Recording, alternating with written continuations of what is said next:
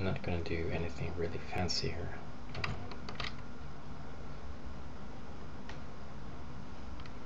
but um, let's try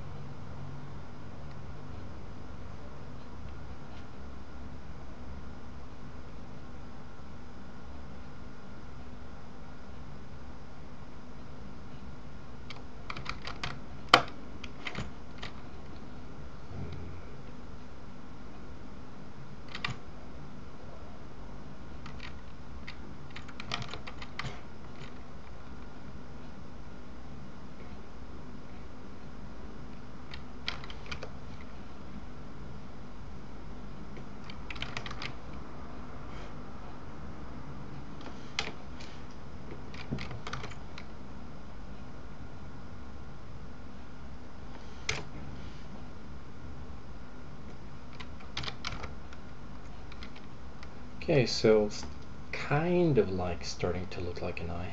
Um, I'm just gonna clone this and merge it because I'm going to look at how the uh, polar coordinates uh, filter works. Uh, okay, that's nice. Um, I guess I could have stretched it less, right? Um, so make it go up again. Um, let's see if I, yeah, okay. So just for testing, I'll just run that. Um, I think that's not too bad. I'll go with this though.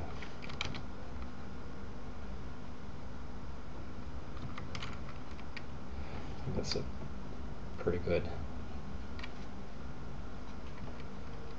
start point. Um, there are so many ways you could go about this. Um,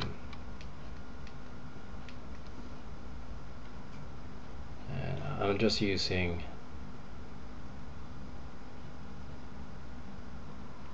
an old Photoshop here like CS3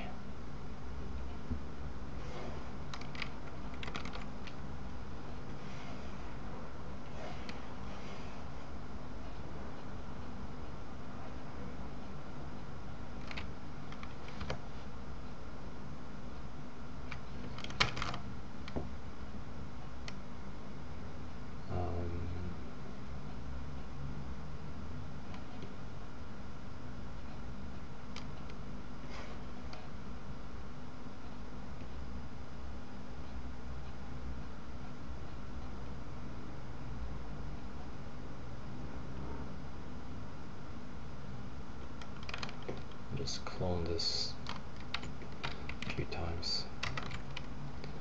Not that satisfied with that area, so uh, I think I'll just use a smudge tool here and smudge it away. Also, I could also like make um, patterns here. I guess maybe I should use Liquify for that. Uh, the liquify filter or I could. Uh, let's just you know this is just me fooling around. It, it this is not really going to be fantastic in any way. But um,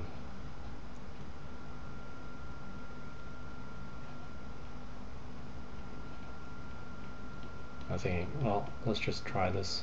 See see how it works. Try not to bump the edge here too much that's going because that's gonna wrap around to the other side so.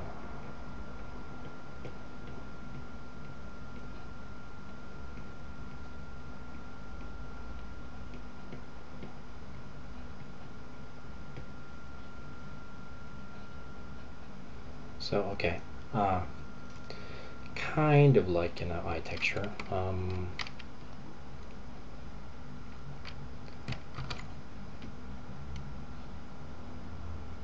you could also clone that and you could wrap that horizontally so you kind of like get these um, opposite directions. Um, I guess you could also even mask that if you want to. Let's see how that works.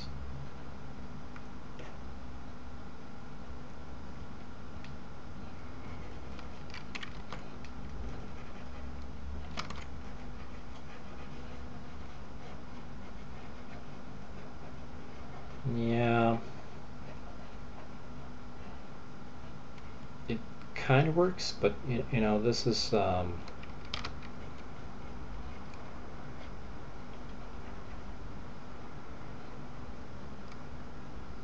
yeah, you you, kind of like have to find ways. There, there are also other ways I thought of, uh, like using, for example, FiberFX to to make this work better. Uh, but you know, this is one way. And it looks more cartoonish, so maybe that's cool. Um,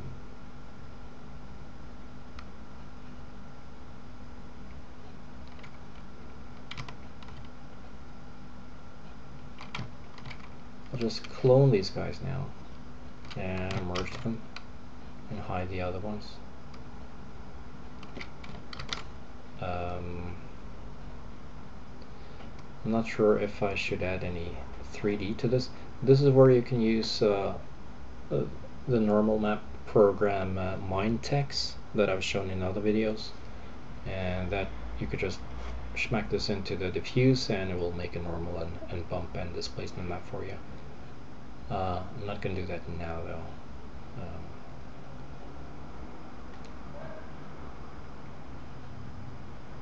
there, there is actually also a normal map plugin for uh, Photoshop. Oh, actually I have it installed. What do you know?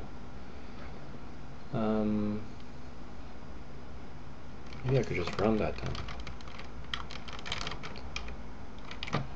So I'll just make the texture like that and let's see how this works. NVIDIA has this damn simple normal map generator. Uh, and it works. Uh, maybe I should do no.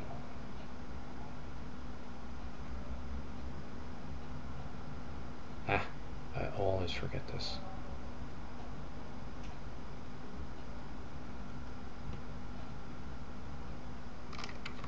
Okay, not that bad, but um,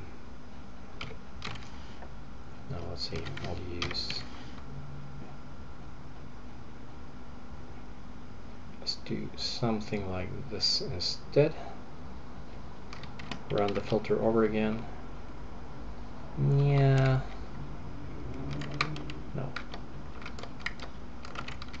maybe I need to um,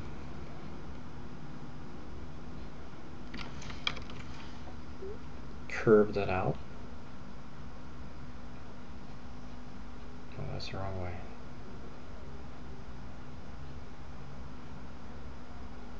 I want less black here.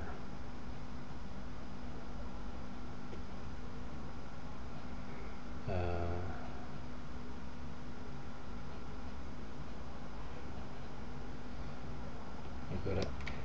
I should have done this another way, but um,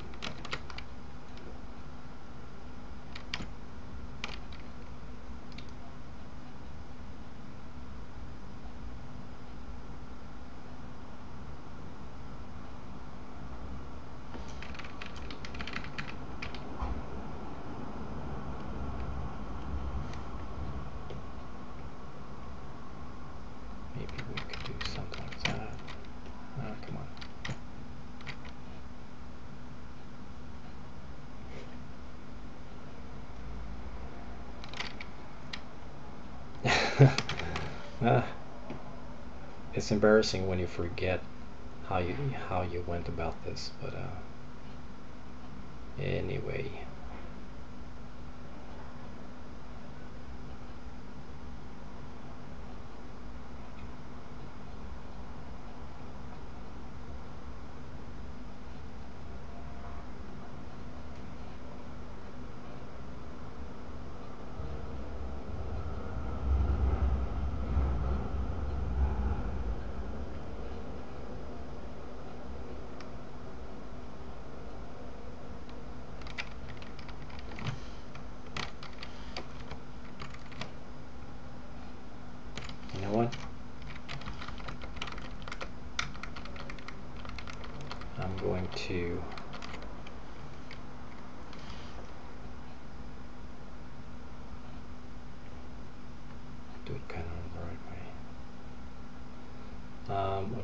So these down and uh, like that. Control Shift L and Control Shift U to get rid of the colors and let's run that normal map filter over again. Oh, that was heavy. Why was that? Oh, I think. No, actually, I'm not. I have no idea why. Um.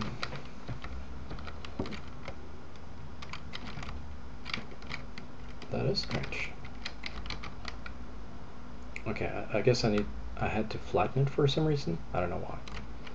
But okay, that that's the normal map then, and I guess that is somewhat okay. Um, it's kind of like low res, honestly.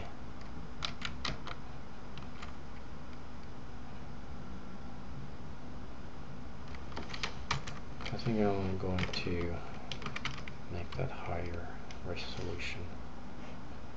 Just making that that's fake resolution, but anyway, it doesn't matter. Just interpolate it. Um, yeah, so we got the normal map.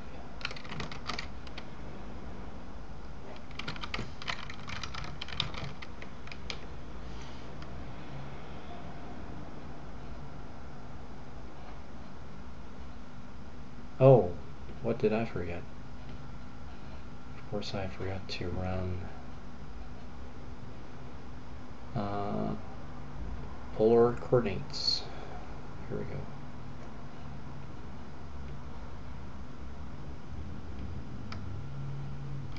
I could, do the, this and that one as well. Um, yeah.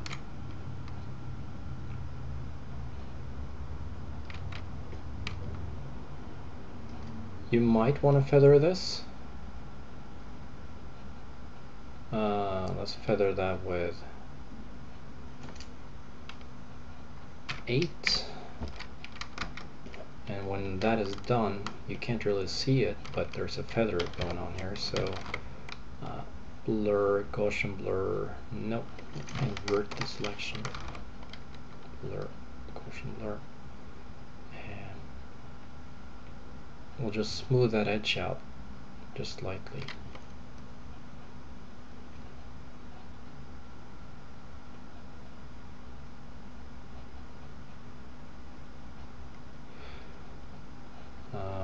think I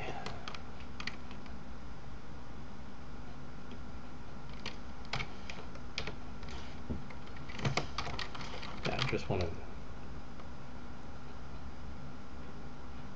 do that slightly less. Oh well, let's say that that's perfect. We'll just pretend that that is perfect and uh, go with that. I guess.